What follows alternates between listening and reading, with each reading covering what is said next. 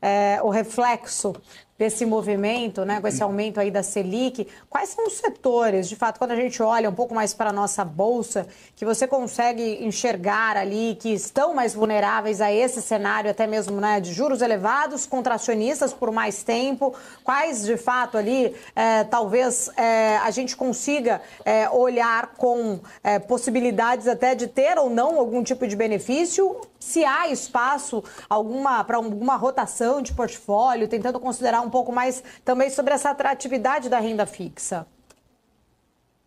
Eu acho que é uma ilusão achar que, como alguns defenderam, que o aperto monetário vai favorecer a bolsa, né? Eu acho que na verdade gera diversos impactos negativos, né? Então a gente tende a ter agora uma desaceleração mais forte da, da atividade, ao mesmo tempo empresas que estão endividadas, né? Vão ter um aumento no seu custo financeiro, olhando do ponto de vista de pessoas físicas, a renda fixa, que já era atrativa, fica mais ainda. Olha, é, assim, quando a gente olha as emissões de debêntures no ano, foi um volume muito expressivo. Então, assim, na, e, e, e, o juro real vai ficar ainda mais alto.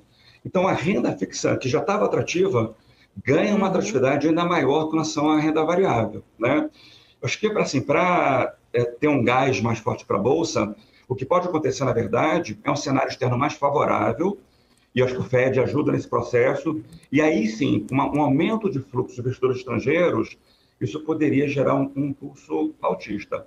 Mas olhando assim, estritamente do ponto de vista de decisão de política monetária, assim, os setores cíclicos são afetados negativamente, empresas do setor imobiliário ligadas a crédito também podem ah, ser afetadas de forma negativa por uma taxa Selic que gera alta e que vai ficar mais elevada ainda.